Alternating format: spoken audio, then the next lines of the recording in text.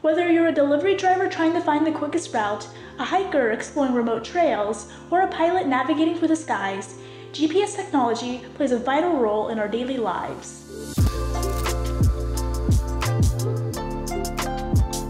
GPS stands for Global Positioning System, a constellation of 24 satellites orbiting within medium Earth orbit that beam down signals that GPS receivers here on Earth receive to pinpoint any location on Earth. However, this technology is not immune to threats. Hackers can attack into these systems to cause far-reaching disruptions and significant infrastructural damage.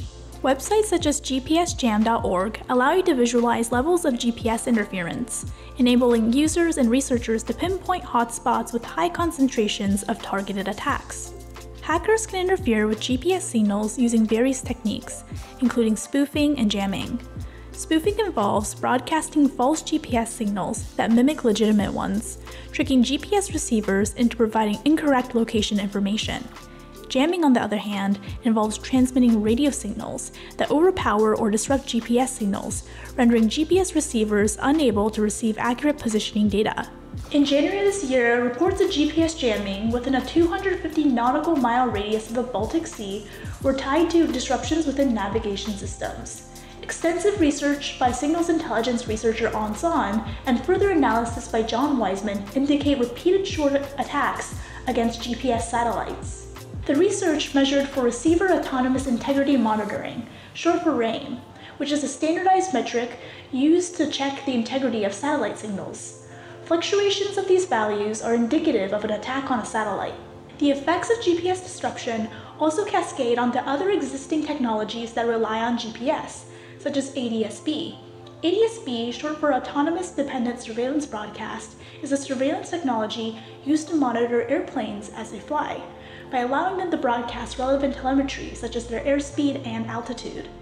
In the Baltic jamming incident, disturbances to signals also cause strange ADSB values to pop up, since ADSB relies on GPS to accurately determine aircraft positions and transmit this information to ground stations and other aircraft.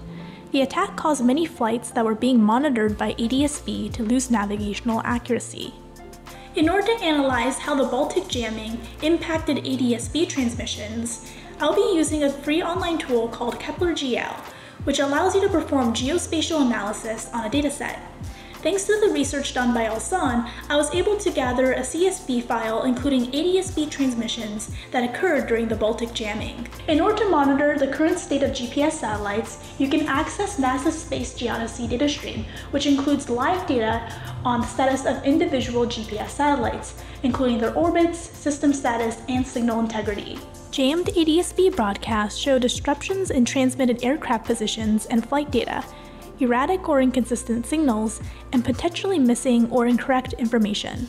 On the other hand, spoofing on an ADSB broadcast involves the transmission of falsified aircraft positions and flight data, deceiving ground stations and other aircraft receivers into believing the false information.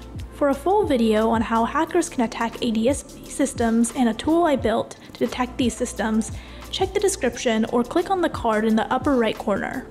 Another method for spotting GPS interference is to monitor live ADSB streams using public sites such as ADSB Exchange in order to monitor and visualize current air traffic.